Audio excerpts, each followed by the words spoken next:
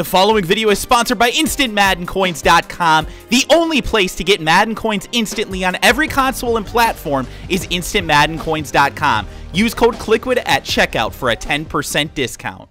Hey, what's going on guys? Kliquid here back again with another Madden 17 video. And guys, today what we're going to be taking a look at is some of the changes that have happened here in Madden and how the most recent tuning update actually affected specific things in the passing game.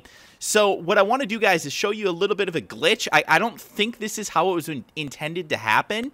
So I want to find something on here. Uh, what we're going to do is uh, go in here, and I'm going to show you guys kind of an example of one of the errors that I think is happening here in the game. Now, this didn't necessarily come from me. I have done some experimenting. Uh, this was actually kind of found over on the Madden Ultimate Team subreddit, so I want you guys to go over there and check that out. Just go over to Reddit and type in Madden Ultimate Team. It should bring you to the subreddit, and then you guys are going to find some great information there. There's a lot of people that share really good information there, um, so definitely go check that one out. I want to give a shout out to that subreddit. Now, guys, what we're going to do here is we're actually going to go in and we're I'm going to actually find something out of my recent plays here and see if I can uh, find anything. No, never mind. Uh, I forget which formation that I was freaking in, of course. Uh, but let's see here. We just got to find something. There we go. We'll find slants middle out of gun split cowboy, okay? So I'm just using the Cowboys playbook. This can really happen with any play playbook. It doesn't particularly matter. So what we're going to do is we're going to pick slants middle, and then we're going to pick random play on defense. Doesn't really matter. So the normal camera angle that I have is this. I'm going to actually pull it back to this camera angle so that you guys can see a little bit more of the field. Uh, because we're going to need that for when we're actually showing how this works. So basically, guys, this is the standard play art, right? We've got two guys on the right there. Everybody's running slants, and then we've got the two guys out of the backfield just running uh, simple out patterns out of the out of the backfield. So what we're going to do is I'm going to show you guys kind of what would happen if I took Cole Beasley and I pulled him in motion. So watch how his route changes here. As soon as he gets to the opposite side of the center, his route will actually change to go to the opposite side. So this is really common. This happens all the time in Madden. Now, what it's going to happen here, again, we're going to put him back here, and it's going to change back. So what I'm going to do is show you guys kind of an example of what people were doing before. So before they updated the game and they did the tuning update, what you could do is you could take any receiver, and we're going to do it with Cole Beasley, and we're going to put him on a, uh, we're going to audible him and do a hot route, and we're going to put him onto a hot streak, or excuse me, a hot fade, excuse me. So right analog stick up. And what that's going to do, you can see here out of the out of the slot, he's going to run that fade route. So what people were doing is that they were taking and they were hiking the ball while he was in motion and what was ending up happening was that he was getting basically a speed burst and just burning the defender. So what they did is they actually changed it so that you can't really do that anymore. However, the problem is that they actually changed it and they might have made it even more glitchy because watch what's going to happen here.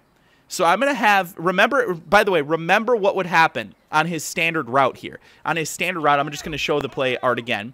That's the standard route that he was running, okay? So I, I audibled him, and now he's on that, that fade route. When I pull him over to the left side of the field, if I hike the ball while he's still in motion, Watch what's going to happen. Boom. He's going to stop and he's going to pause. And then he's going to end up actually running that out route. Now, I get sacked there because I didn't have any sort of protection. But we'll try it again here. So I'm going to I'm gonna block these guys in the backfield so we get a little bit better protection here. Um, actually, we'll just do a, a protect all. Now, again, I'm going to take Beasley and put him on that streak. And as soon as we put him in motion, no one followed this time, so it should be even a little bit more open. He's going to pause, and boom. Look at that really, really dirty. If, if you would have thrown that a little bit more effectively, you're going to see that it, you're basically getting a speed slant out from this. Now, the slant, in my opinion, is one of the most overpowered routes in Madden to begin with. So, again, watch what's going to happen here. We're going to put him in motion, and he's and he's going to run that slant pattern to the outside instead of to the inside. And it's taken a second for him to develop that. Boom. Well, he threw an interception there, but you're getting the idea here, guys, right? So here it is again, guys. One more time, this is against a defense that it should absolutely toast. We'll see if it ends up happening. But um, you're going to see here, he's going to run that out route, and boom, wide open, easy peasy. This should be a touchdown, and he's going to get into the end zone. So very, very easy. Uh, it's not difficult to do. All you're going to do is just start mashing that X button. And uh, you're basically gonna you're basically just gonna wait for him to get into the right position, which is right before he's set, right there, and boom, Now we hike the ball, and it's an easy completion. So, again, uh, obviously, Dak Prescott's not the best quarterback in Madden, so he's going to throw things a little bit ineffectively here. And I'm just showing it with a slant. This works with other things as well. A lot of those routes that change from one side of the field to the other, like when you audible or if you pull the receiver to one, one side to the other and it changes it so that it flips it, they, if you do this with any of those uh, if any of those routes, it will stay in the way that the play was originally designed. So that makes it really, really effective. You can create some interesting route concepts from it. And I just wanted to show you guys that because I think that this is going to be something that a lot of people end up using. My guess is that this was unintended, but I don't know for sure. I really, really don't know for sure. It's very possible that they decided to do this for whatever reason. Um, and you can see there too, by the way, guys, I wanted to point out another thing. It kind of seems like the defense just doesn't react to them when they do that the little pause there. Watch it one more time here, especially if it's man coverage, which this one isn't, unfortunately. Uh, but when it's man coverage, go back and watch that. It basically looks like the defense just does not even react to them being there on the field.